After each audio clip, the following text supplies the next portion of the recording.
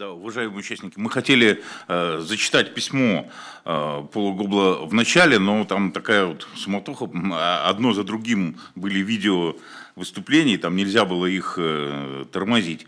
Поэтому зачитаю уже в самом финале. Ну, как вы знаете, Пол Гобл это э, известный специалист по этно Э, региональным проблемам в Евразии, автор более восьми книг, более сотен статей и так далее.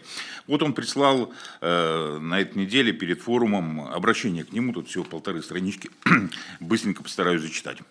Значит, называется «Освободить порабощенные нации. Три изменения в международной системе, которые внушают оптимизм» обращение ко второму форуму свободных народов России.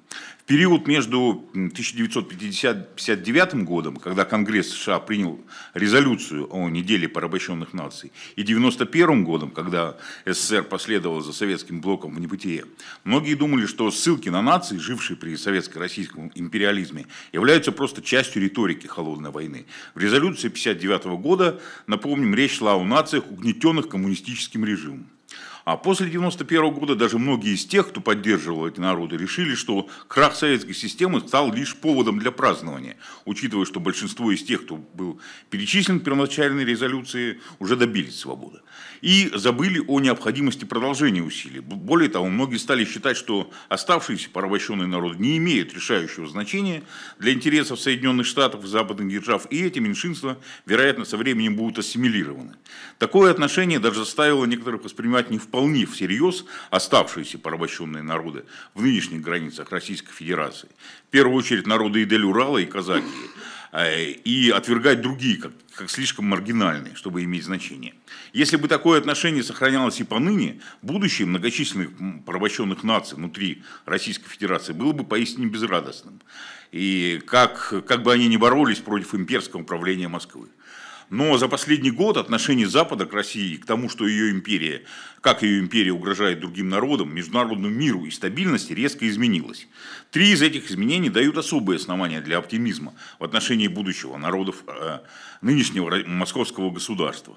А, во-первых, это наиболее важно, Соединенные Штаты и Запад в целом отделили вопрос о порабощенных нациях от вопроса о коммунизме и взяли на себя э, обязательство бороться с империалистическими и другими формами угнетения в целом.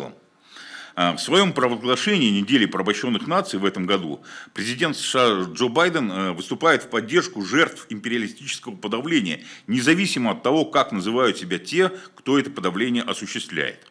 Декларация американского президента ясно дает понять, что неделя порабощенных наций не сводится к исторической борьбе против коммунизма. Это выступление против репрессивных режимов как таковых. Э, только три из этих режимов, которые он называет одними из самых репрессивных в мире, являются коммунистическими. Это Куба, Северная Корея и Китайская Народная Республика. Остальные шесть – это либо бывшие коммунистические страны, либо никогда не бывшие коммунистическими. Это Россия, Иран, Беларусь, Сирия, Венесуэла и Никарагуа. Э, и не случайно президент США поставил Россию на первое место среди всех этих стран. Не из-за ее коммунистической истории, но из-за ее продолжающегося империалистического поведения.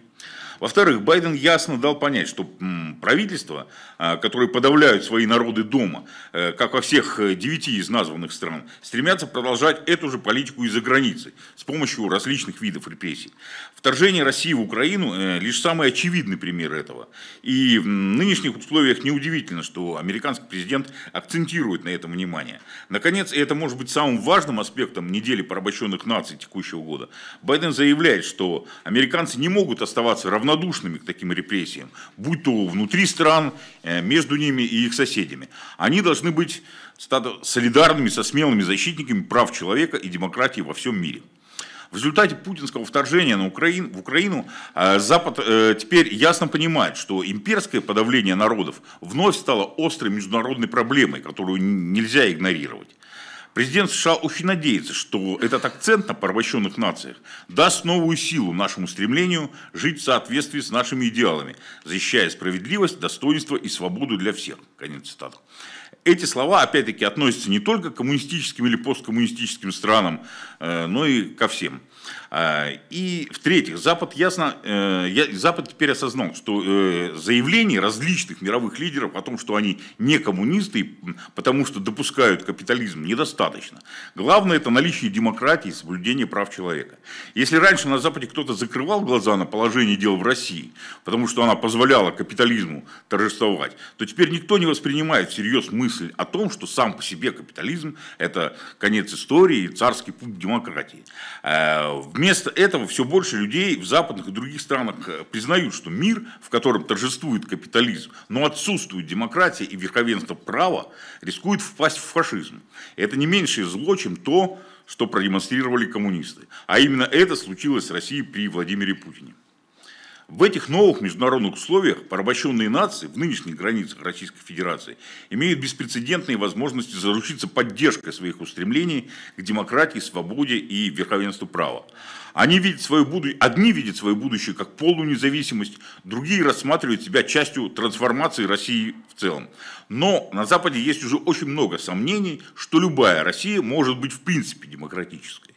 Э, по этой же причине народы, входящие в Лигу свободных наций и другие их коллеги, ныне обретают союзников, которых у них прежде не было, еще, э, у них не было еще совсем недавно. И их перспективы на будущее лучше, чем когда было прежде. Пусть ваш форум воспользуется этими возможностями и добьется того, в чем вам так долго отказывали.